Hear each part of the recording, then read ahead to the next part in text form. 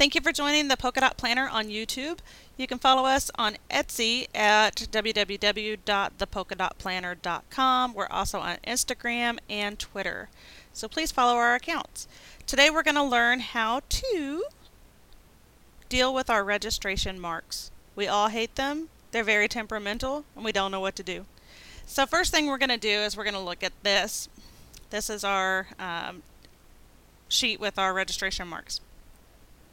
You can change your orientation by going up top, right here, to this sheet with these two arrows and choose Portrait, or you can choose Landscape, either or. Now I will tell you most of the time I probably use Portrait, so I'll just show you this one first. When doing stickers, put stuff in here. You can put stuff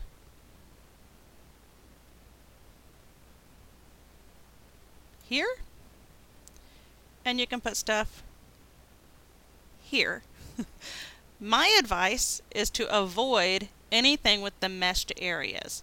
If it is anywhere near the meshed areas, it is going to do one of a million things. One, your registration will fail. Two, um, your registration will fail.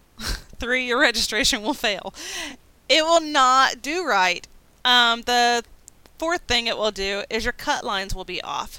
So say you have a, a box, and you have a box, and you have a box, and you have a box. Okay, so say you have a box, and then you decide that you're going to cut it, even though you have put this here, and you uh, put this little box right up in here in the meshed area, right? And then you took this box and you put it right up here.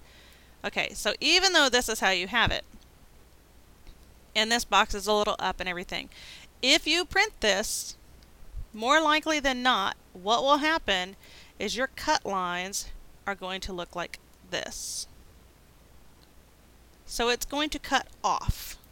Does that make sense? So it'll just be almost right, but it'll be down. So instead of cutting the box perfectly, it'll cut down, or it'll cut to the left, or it'll cut right. So yeah, it cut, but it didn't cut right. And then you threw away a piece of paper, and then you're mad and angry and everything. So my advice, because registration marks are so temperamental, is to stay out of the mesh marks.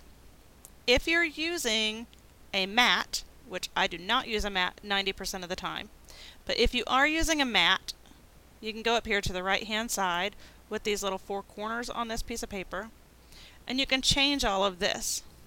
Um, one second. If you're using a mat, go back to that screen and select mat right here. So depending on whether you have a portrait or a cameo.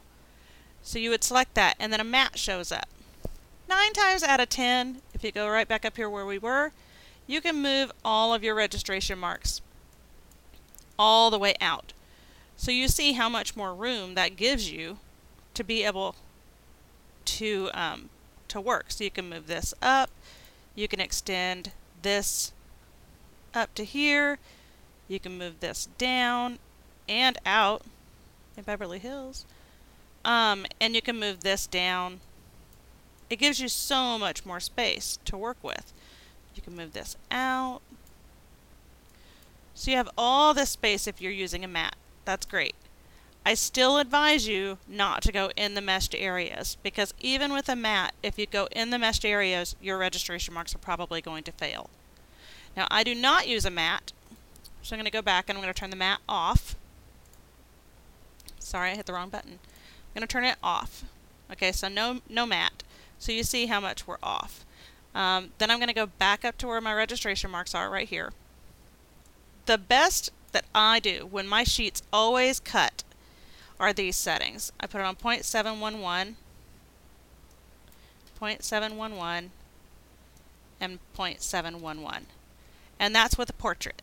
Okay, so you lose a lot, but 99 out of 100 times, it's going to print. I mean, it's going to register. So I put that all the way out as far as I can.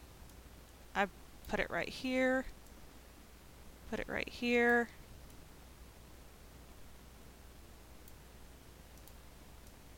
Bring this in. And this is pretty much your space where you're safe for registration marks. you can put, if you're making coffee cups or something like that, you can put all your coffee cups or your little things all up in here. Then you can put boxes and stuff, and then you can put more deco down here or little functional stuff or stand up your flags or something like that. But just stay outside of the meshed marks because those, they don't like anything to be in them like even a little bit. They get really temperamental. So I hope that this helps you understand registration marks and why you keep getting miscuts or or registration failed or whatever. It's very, very annoying. So um, just be sure to use one of those settings and stay within the bounds and stay outside of the meshed areas. That's not really that much space. And I mean, if you do it to where um, you cut multiple sheets, you can always do it to where you line your sheets up in this fashion and just avoid those areas. Sometimes if you just come down a little bit, you might be able to get this right here. Um, but I wouldn't go anywhere near this square for anything because it will fail. I hope this helps. Please um, refer me to other people. Let them know about my channel so that they can learn some. And thanks so much for watching. Be sure to like and subscribe below. Have a great day. Bye-bye.